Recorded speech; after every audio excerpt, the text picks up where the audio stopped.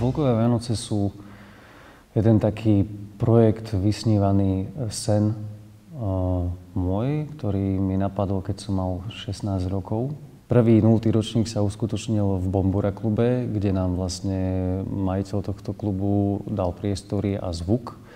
A nakoniec sa to celkom úspešne podarilo. Stretli sme sa tam nejakí 8 až 10 ľudia, plus e, zo pár divákov, ktorých bolo menej ako účinkujúcich. Takže to bolo také príjemné stretnutie.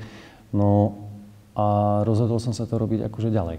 Začalo sa to nabaľovať takým spôsobom, že ten to prvé stretnutie tých mojich kamarátov, blízkych, pesničkarov a ľudí, ľudí z regiónu uh, to nadchlo a chceli v tom pokračovať, akože že to urobíme aj na ďalší rok. Celé je to uh, podnietené ešte tým, že je to vlastne pred Vianočnom období, kedy sa ľudia uh, vracajú naspäť zo zahraničia, vracajú sa zo škôl, sú doma, sú tu cez prázdniny a celé to má takú takú zvláštnu predvianočnú atmosféru. Keď to už začalo mať taký veľký záujem, že to tí ľudia začali vnímať a brať ako tradíciu, že sa zúčastňujú tohto prakticky každý rok aj tí diváci, tak som sa rozhodol pomôcť ľuďom, hlavne deťom, ktorí tu v Brezne sú. V tomto 11. ročníku sa nám podarilo už vyzbierať 550 eur. Tie počiatky boli samozrejme menšie, kým si ľudia na to zvykli, že ako to funguje a čo sa popri tom robí na obraz dobrého trhu v Bratislave, ktorý býva,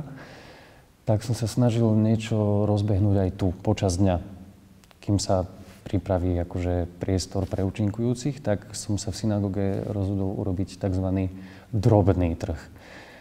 Taká slovná hračka, e, že to možno ľudí priláka a zúčastnili sa jeho, mm, jeho vlastne lokálni e, umelci, remeselníci, handmade výrobcovia, ktorí tiež svoje veci ponúkali a percento z celkového predaja išlo znova na charitu. Trh by som chcel robiť 4 krát do roka a vlastne tie folkové Vianoce budem asi robiť, kým, kým tu budem.